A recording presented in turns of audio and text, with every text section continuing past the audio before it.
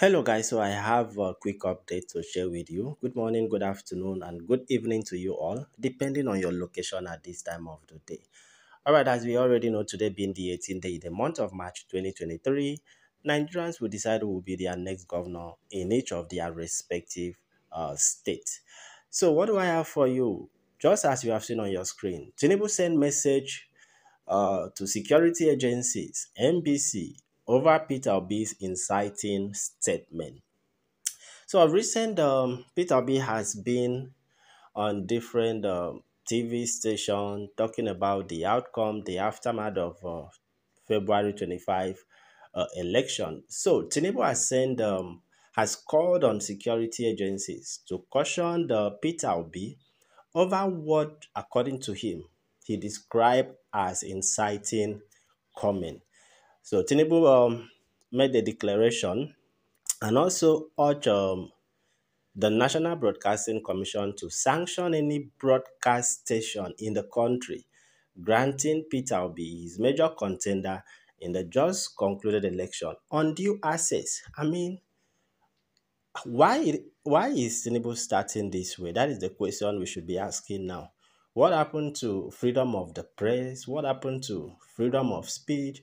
And so on. I mean, personally, I think this is not a way to go. All right, but let me just break everything down for you. So, in a statement, uh, as at yesterday in Abuja, through his campaign council's director, of media and publicity, Mr. Bayo, Tinubu said that Peter Obi's comment could incite violence and are discrediting an election deemed to be free and fair. So, according to Tinubu, Tinubu still says that the February 25 election was free and fair. Okay, so um, according to Tinubu's statement, he said uh, Peter Obi's criminally false and inciting statement about the election were geared toward influencing the court to cancel it so that Peter Obi and Atiku can align a fresh election.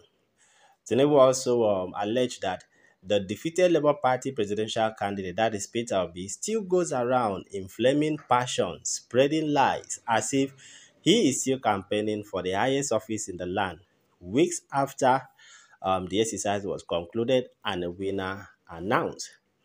And according to Tinubu again, that they are worried about his recent media round on Arise Television and Channels Television, in which he made a profoundly misleading, criminally false, and inciting statement about the election that he lost woefully.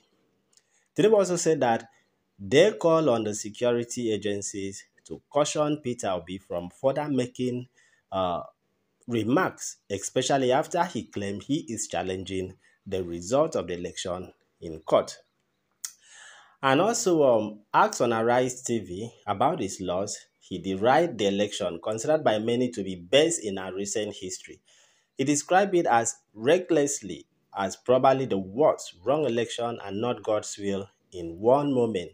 He likened the election to be robbery. Okay, so that is what Tinubu is trying to say. And he has called on the security agencies to caution uh, Peter Obi and also call on NBC to sanction any um, television station, any broadcasting uh, studio that grant interview to Tinubu and others. I mean, personally, uh, I don't think this is the best way to go.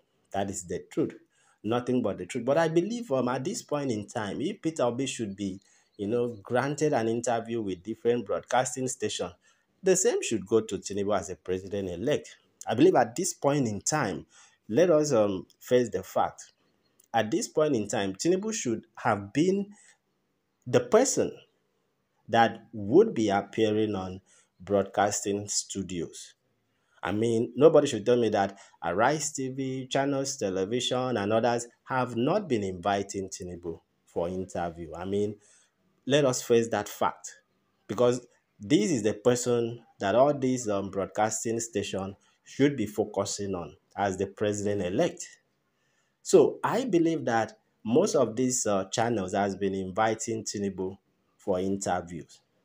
But nobody have seen Tinubu on the television ever since or after that February 25 election. And now they have these people, they need content. That is the truth. These broadcasting stations, they need content to move their broadcasting studio forward. That is how they make money. They need content. So if they invite somebody to their studio and then the person honor the interview, I mean, there is nothing wrong with that. At least we have some code of conduct. And we also have a law, freedom of speech, free, uh, freedom of press, freedom of the press.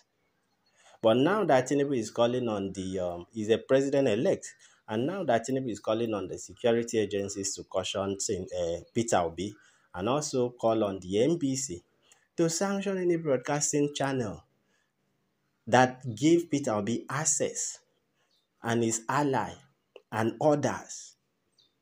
Because the, the election, people still talk about the election, the outcome of that, the aftermath of that election. And now Tinubu is calling on security agencies and NBC to sanction any channel. Believe me, they will do it. Don't be surprised that most of these um, broadcasting channel they don't they may they may shut them down when the right time come. You know what I'm saying? Don't be surprised. This is not surprising to me. Like seriously, I wouldn't lie to you. I mean, the case is in court. Fine these broadcasting channels, they need content. How do they get content? They need content to move their broadcasting channels forward. So Tinubu calling on security, but however, this is my own personal opinion. I stand to be corrected because everything Peter Obi, you know, talks in the broadcasting channels, everybody has been following it.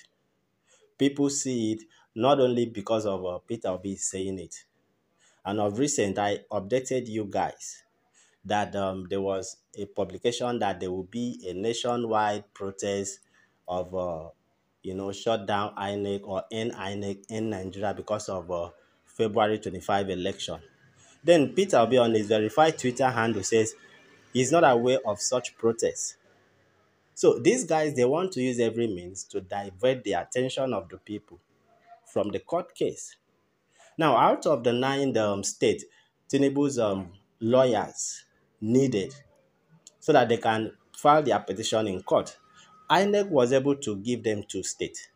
Now, the question is, in what material were you using to declare somebody a winner? They need nine states. They cannot go through the 36 states because of the time frame. I think they have only two days left to file an appeal. So you don't have time and Labour Party need only nine states so that they will be able to file their appeal. But INEC only produces two states for them.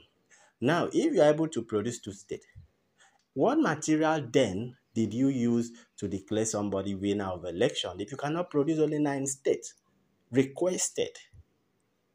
All right, guys, let me not um, take much of your time. I only want to update you the latest uh, that Tinubu is um, already calling on security agencies and um, broadcasting channels to not to give um, Peter Obi and others access for them to talk about the just concluded election. However, let me know what you guys think. See you in another update.